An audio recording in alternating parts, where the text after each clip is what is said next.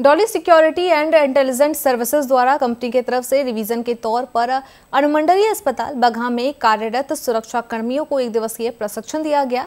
वहीं कर्मियों द्वारा किए गए बेहतर कार्य के लिए एक सादे समारोह में मेडल देकर सम्मानित किया गया। कंपनी हेड सुधीर शुक्ल एवं अस्पताल चिकित्सक डॉक्टर एस अग्रवाल द्वारा संयुक्त रूप से सुरक्षा कर्मियों को मेडल और मोमेंटो देकर शुभारंभ किया। कार्यक्रम को संबोधित करते हुए डॉक्टर अग्रवाल ने कहा कि डॉलर सर्विसेज़ के सुरक्षा कर्मियों का ड्यूटी के प्रति काफ़ी सजगता है। कोरोना काल से लेकर अब तक इनके कार्य बहुत सराहनीय रहे हैं।